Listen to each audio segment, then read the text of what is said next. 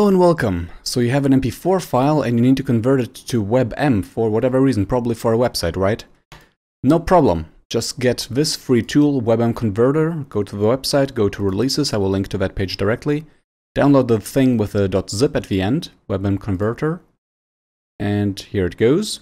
Once it is done, just click Show in Folder, and then in this folder, right-click the zip file and extract it, and just extract it.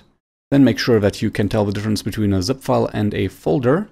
The zip file is the one with a zip and v.zip at the end if you enabled view options, view, and disabled hide extensions for our known file types, which I highly recommend that you disable that. Anyways, go inside the folder, and there you will find the WebM converter. Just double click it, accept it, and here you go. You can put which file to put in, Let's select browse for this. And I'm just going to select the file. And it will automatically determine what the output file will be. In this case, just the same file name with webm at the end. And there's nothing else to do besides pressing convert. Here we get some output information and a progress.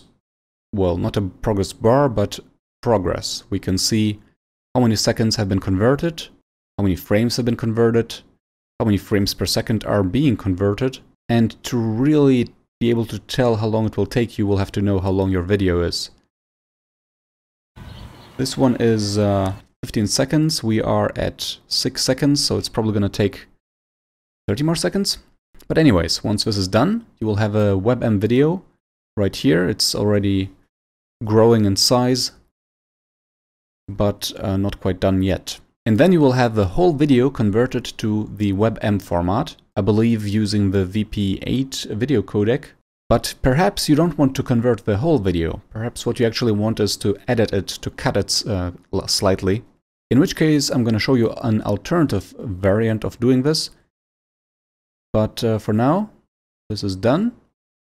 Let's just close and close and check out the result. So this is a problem. The audio has not been converted. So let's try this again. Let's pick the MP4, let's give this a different file name. Oh, and I just realized what this is for. Anyways, uh, use this uh, checkbox so that there is audio. And how about high quality mode? Let's do this.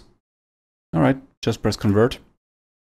And the waiting begins again. Now what is cool about this app, it actually allows you to enter the start and end trim time so you can kind of edit your video here, but it's not visual. You just have to know what exact seconds uh, to cut at the beginning and at the end.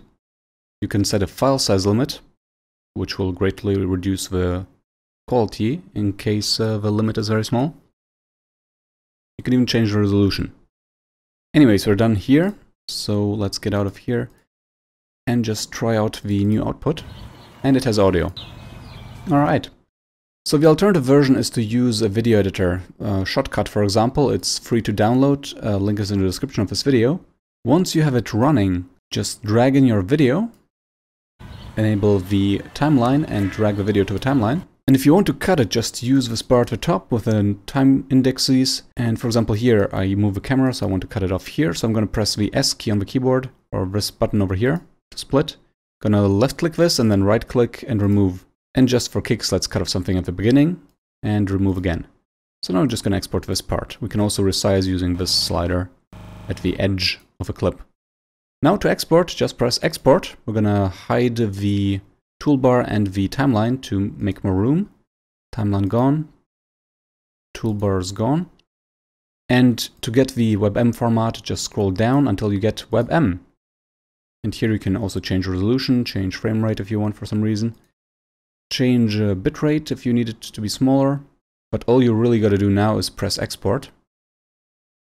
Down here is a button.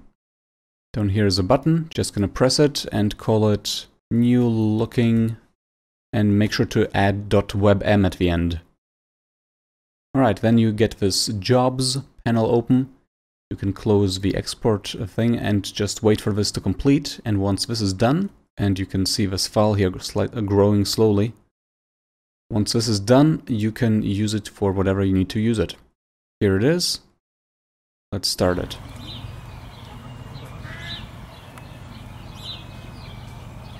Alright, great. And just one more hint for the WebM converter. You can uh, increase the thread count, probably 4 if you have quad core, to make it much faster. Apparently Shotcut does it automatically. Anyways, I hope this helped. Please subscribe to support this channel and have fun converting your videos. Ciao!